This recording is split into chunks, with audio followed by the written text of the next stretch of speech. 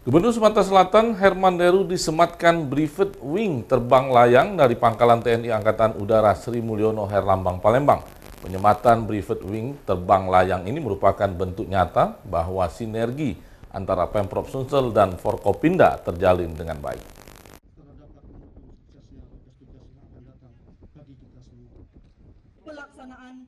Bersama jajaran Forum Komunikasi Pimpinan Daerah, Gubernur Sumatera Selatan Herman Deru disematkan Brevet Wing, terbang layang oleh Dan Laun Sri Mulyono Herlambang Palembang, Kolonel PNB Firman Warayuda. Usai penyempatan tersebut, HD mengatakan atas nama pribadi dan pemerintah Provinsi Sumatera Selatan menyampaikan terima kasih yang tak terhingga atas penyematan Brevet Wing terbang layang yang diberikan.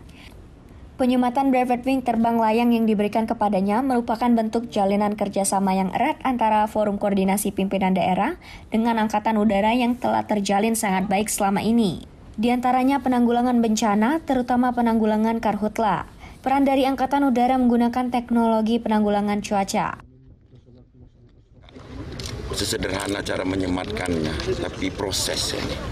Bahwa kerjasama selama ini uh, pimpinan daerah, saya sebagai gubernur dan Forkompinda ini menjalin uh, kerjasama yang erat dengan angkatan udara yang ada di uh, daerah ini dalam berbagai hal, baik kemasyarakatan, penanggulangan bencana, juga termasuk keberhasilan-keberhasilan yang uh, diridhoi oleh Allah, uh, masalah karhutlah ini merupakan uh, bentuk penghargaan dari Angkatan Udara karena kita secara berkolaborasi bersinergi menanggulangi karhutla di Sumatera Selatan. Alhamdulillah seperti yang disampaikan Pak Gubernur tadi cukup berhasil. Uh, setiap hari kita membuat TMC, pesawatnya bisa dilihat di sebelah sana. Alhamdulillah kita bisa uh, membuat uh, hujan buatan sehingga mengisi kanal-kanal sehingga lembab untuk apa namanya gambutnya uh, dan dengan demikian uh, kita bisa mengatasi sehingga meminimais kondisi-kondisi seperti tahun-tahun sebelumnya.